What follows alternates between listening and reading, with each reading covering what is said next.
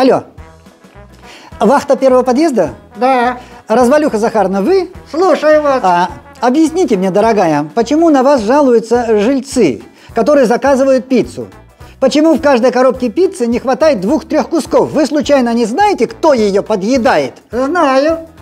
Сантехник, На каком а основании? е- ему нечем закусывать. А почему вы, зная это, не сообщили в администрацию? Так э, это, он меня угощает. Ну, знаете, это попахивает увольнением. Ну и увольняйте. Будем только рады. Ладно, ладно, я пошутила. Работайте, работайте, все.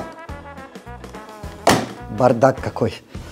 Ой, пусть работает. Где я найду сотрудников на такую зарплату? 7 тысяч рублей в месяц минус подоходные. Да и потом, пицца-то вкусная.